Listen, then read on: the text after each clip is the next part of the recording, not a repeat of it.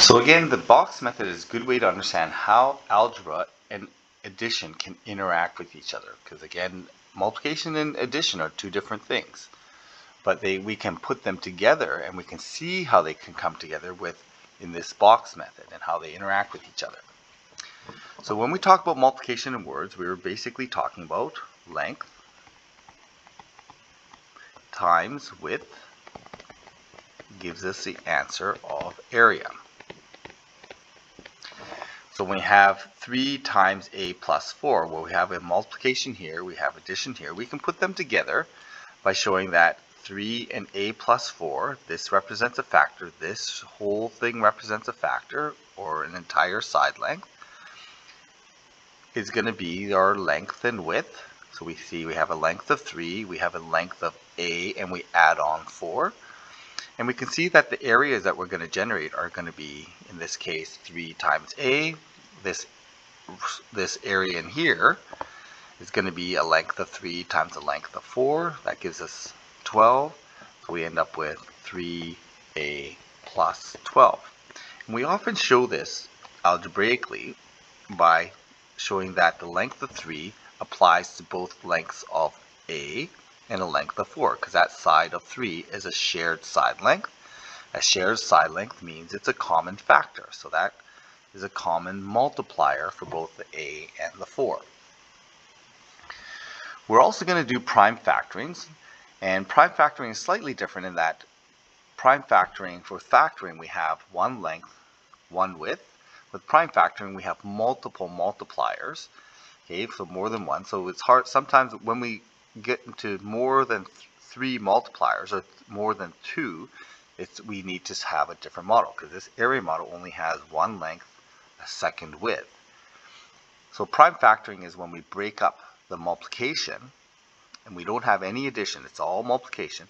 We break up into the smallest parts, or the prime, what we call prime number parts. So if we have a number of 48, okay, we can break it up using a factor tree and we can break up the multiplication. So 8 times 6 equals 48. 8 can be broken up further into 4 times 2. 4 can be broken up further into 2 times 2. 6 can be broken down into 3 times 2. And the ends of these trees represent the prime factor, the smallest multiplication pieces, and we put them all together. So we have 2 times 2 times 2 times 2 times 3 equals back to 48. We can do prime factoring in this kind of box method where we can divide by, we start with 1050 and we can divide by 2, we get 525. We divide by 3, we get 175. Divide by 5, divide by 5, we end up with 7. So these represents our divisors and which represents our factors.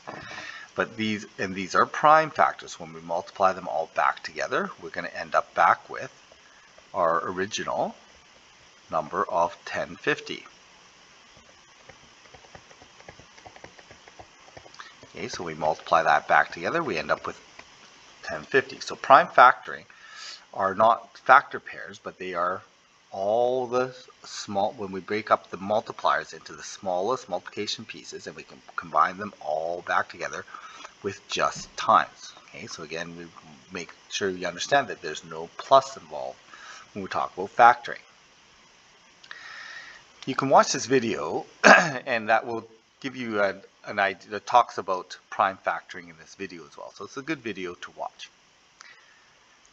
So if we're going to start with 108, we can prime factorize this. So I start with 108. I'll do, do this both ways with the box and the tree.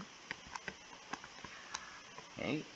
We can divide by 2 and we get 54 here. Here we can show that if we divide by 2, we get a factor pair of 2 times 54. So this is prime, this is prime.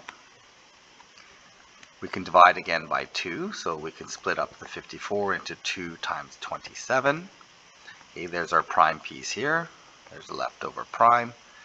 And then we can do this again with 27. Now 27 has a divisor of 3. And we're left with 9. There's another prime factor, and then we're left with 3 here. So these, when we break this down, we end up with 3's as our last.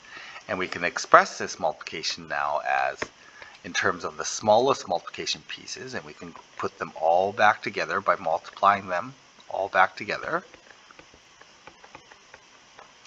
And that will give us the original number that we started off with, which is 108.